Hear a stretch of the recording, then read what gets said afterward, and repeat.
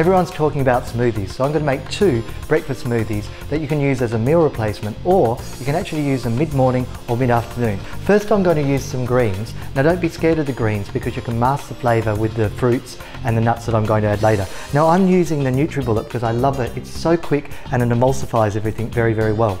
So we add our spinach in there. To that I'm going to add half an avocado, wonderful for essential fatty acids, great for the hair, skin and nails.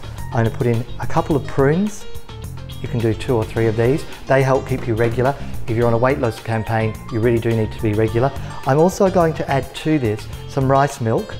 Now, you can add some rice milk about 200 mils, or you could just use water, it's up to you. Now, once I've added that, I'm going to do what I call my NutriBlast and add some nuts and seeds. This is wonderful, again, for all those essential fatty acids and to help you keep fuller for longer. This is optional now. If you want to make it more of a meal replacement, you add a little bit of yogurt and to that you have the choice of adding some plant-based protein. Now this plant-based protein is wonderful for satiety. It really does help you keep full. I like one that's got hemp, cranberry and pea together. Now we pop on the lid of our bullet. Now you can use any other blender if you like. But this one, as I said, it's so quick, so fast, and you'll see what happens in a second. Pop that on, give it a blast. You only need to do it for about 30 seconds. Don't be scared of the green colour, this is really going to keep you full.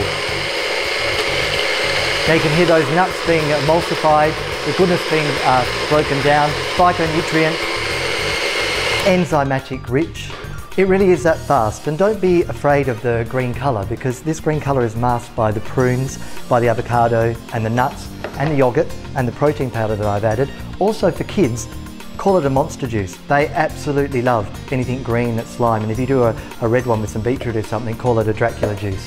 So this is perfect for breakfast, for lunch, mid-morning or mid-afternoon. If you have it mid-morning or mid-afternoon, perhaps just have half a serve. And for our second smoothie, we're going to stay on the green theme, but again, don't be scared when I say the word kale, because although a lot of people don't like it, it's very, very nutritious and I'm going to mask the taste. So this time, we've got the kale going in there, we've got some berries to go in here as well. These are frozen berries, you don't need to have fresh, and I've just got a, a mixed selection. Buy the ones that are most economical, you don't have to buy, buy the really expensive ones. Also, I'm going to throw in, again, my nuts and seeds. This gives it that burst that uh, makes it really, really high in protein and keeps you fuller for longer. Again, you've got the choice of rice or almond milk. So I'll just add that. And then I'm going to throw in my banana. So the banana just gives you that little bit of energy. It's high in potassium. It's also great for your um, energy levels as well because it's got a bit of uh, carbohydrates in it. Again, don't be scared because I said the word carbohydrates. We're lowering the GI of this juice by adding in the nuts and seeds and also the green. So we pop this on.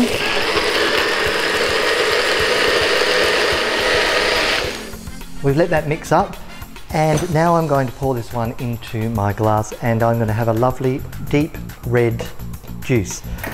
As I said earlier, with the kids, this is fantastic. Call it the Dracula juice.